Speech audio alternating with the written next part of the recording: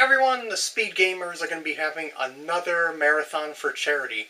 This time it's a Metroid marathon. They're going to be playing through the entire franchise of Metroid games in three days.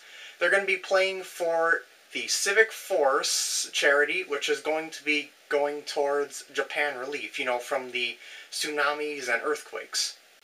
It'll start on May 6th at 6 p.m and go on for 72 hours until May 9th.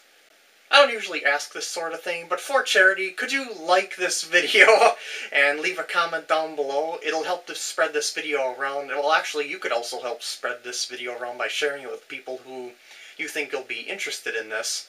More info about this can be found on thespeedgamers.com. I'll have links down that description thingy over there, you know, you can also go to their YouTube channel, of which you can just click on this button that I made up here, which will give you all the information and then some. I'd also appreciate if you'd go over to Shortman Designer's video over here. Uh, rate, comment, spread that video around as well. It's for charity. It's also a promo video for the Speed Gamers charity. I'd really appreciate it. And I hope to see you there at the marathon.